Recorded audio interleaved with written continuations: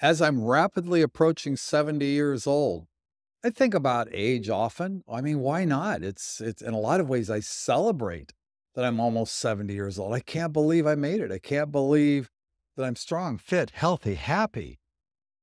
And that's what I want to talk about today. You don't have to get old just because you're getting older.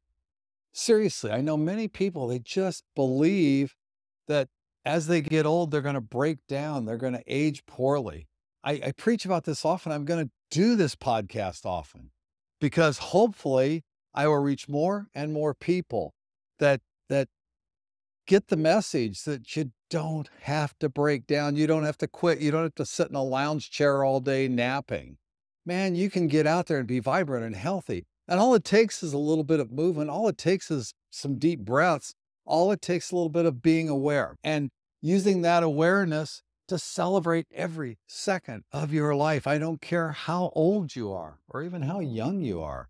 If I had learned some of these lessons when I was in my 20s and 30s, if I'd learned about resistance stretching, if I'd learned about awareness, if I'd learned about aging well and protecting my body and not worrying about everything, my God, stress is such a killer.